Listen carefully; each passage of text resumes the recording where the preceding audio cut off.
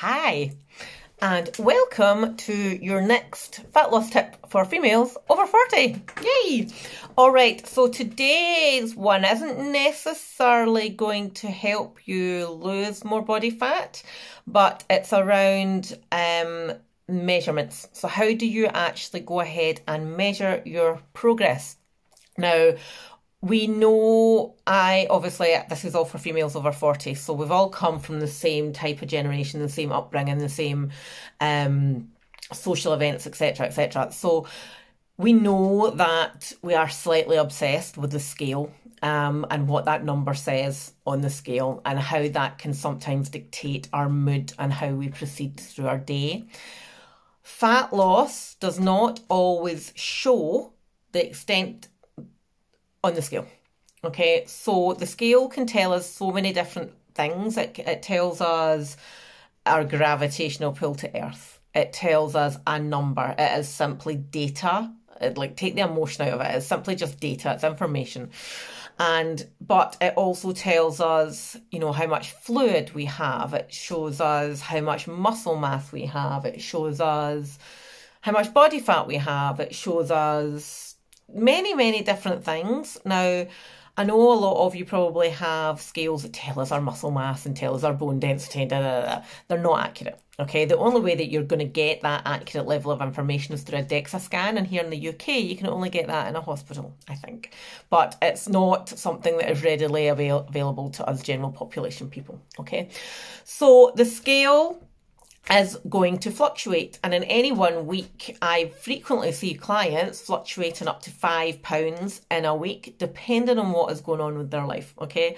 So hormones change the number in the scales. How many carbs we've had changes the number on the scales. The time of day that we have eaten changes the number on the scales.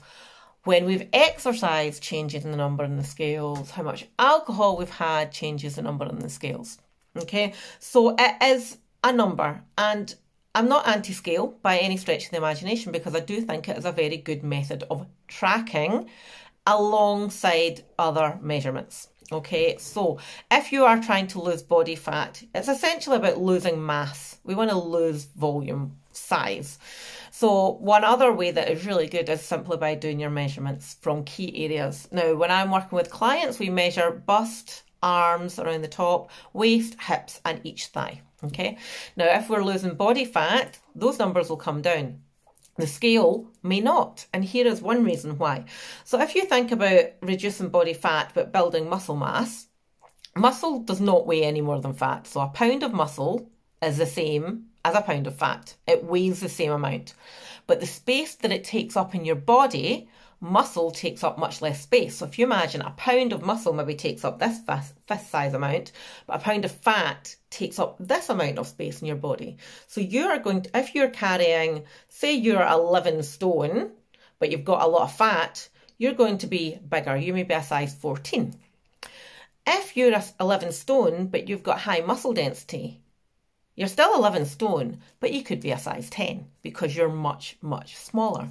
So look at other units of measurement and how you're progressing. So measurements is a good way. Progress photos is another good way. Using an item of clothing is another good way. So we've all probably got a pair of jeans in our cupboards that are slightly too neat on us. That could be your tracking mechanism. You could simply try them on once a week and check how they're feeling. Are they a little bit more snug? Are they looser? You know, that can be your tracking. Um, and we know we don't necessarily just want to to look at our body changes for success criteria, but also look at fitness levels, energy levels, how much you're sleeping, how you're handling stress, how you're eating, um, how much confidence you have, what are you doing differently. All these different things are success criteria. So stop just using that one measurement and allowing it to dictate how it makes you feel. Look at the bigger picture. Okay, that is where change really happens.